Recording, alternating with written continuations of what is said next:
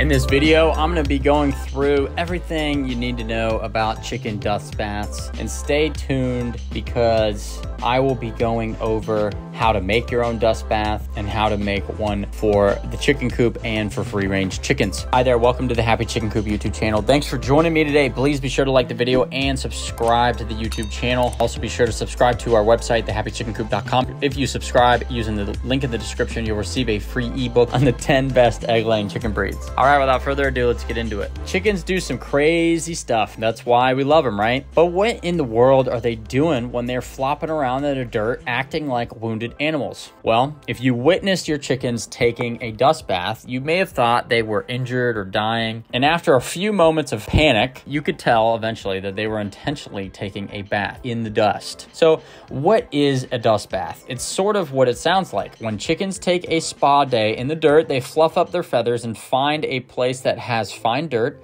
They flop and roll and kick at the soil to make sure it gets well just about everywhere on their bodies. Usually, Chickens have a favorite location for dust baths and will return to them when needed and when conditions are right. Now, don't confuse a dust bath with a mud bath. Chickens like silty, dry dirt that is usually out of reach of aerial predators, so naturally they will pursue your lovely landscaping for their dust baths. Now, why do chickens dust bathe? Well, they do it for the same reasons we bathe. First, to control the oils on their bodies. Chickens have oil glands that can get a little out of control. They preen their feathers to distribute the oils on their bodies, but when they need to tame their oils, they take a dust bath to absorb some of the excess oil. This second reason here is not why we take baths, is to get rid of mites and lice. Lice and mites are external parasites that can cause many problems for chickens, including itching, feather loss, anemia, and even death. Luckily, chickens do know how to prevent this and treat mild infestations on their own. Dust can suffocate, dry up, and kill these unwanted mites. There are also other diseases that can appear as the same symptoms, so it's always important to make sure to check out your chickens for lice or mites as the root cause.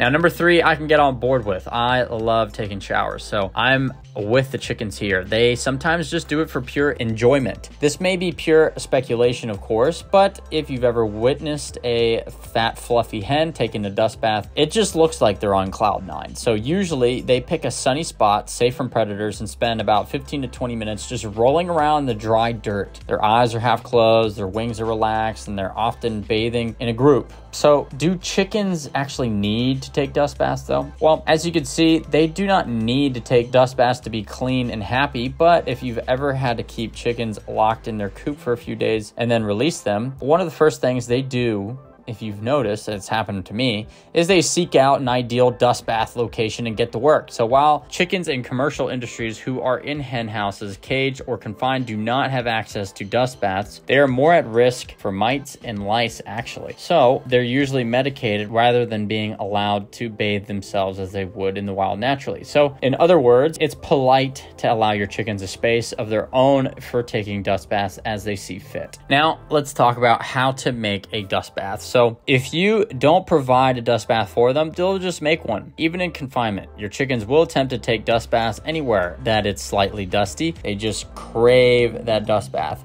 Instead of leaving your chickens up to their own devices, you can make an attractive dust bath that will keep them happy, clean, and out of your landscaping. You can use dirt from around your yard or use diatomaceous earth and get a double whammy dose of mite busting power. In general, give your chickens a silty, light, dusty bit of earth that they can just dig down into. Dust baths created by chickens are usually an inch or so deep and bowl shaped. Now let's talk about making a dust bath in the coop. If you keep your chickens confined with a chicken coop without a run, you should make room for a small dust bath about the size of two to three chickens if possible.